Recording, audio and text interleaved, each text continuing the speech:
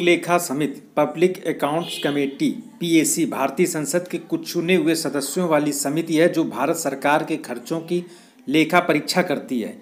ये समिति संसद द्वारा निर्मित है। इस समिति में 22 सदस्य होते हैं, जिसमें 15 सदस्य लोकसभा से तथा 7 सदस्य राज्यसभा द्वारा एक वर्ष के लिए निर्वाचित किए जाते हैं। यह समिति भारत के नियंत्रक महालेखा परीक्षक द्वारा दिए गए लेखा परीक्षण संबंधी प्रतिवेदनों की जाँच करती है।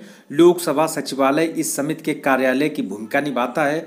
लोक लेखा समिति प्राक्कलन समिति की जुड़वा बहन के रूप में जानी जाती। इस समिति में बाईस सदस्य और पंद्रह लोकसभा के और सात राज्यसभा के। विशेष लोकलेखा समिति संकल्पना पहली बार 1921 में मॉन्टेंग्यू जेम्स फोर्ड सुधारों को दृष्टिगत रखते हुए की गई थी। प्रतिवर्ष समिति का पुनर्गठन किया जाता है। उन्नीस सौ सड़सठ से लोकसभा अध्यक्ष लोकसभा में विपक्षी दल के सदस्य को समिति का सभापति नियुक्त करते हैं।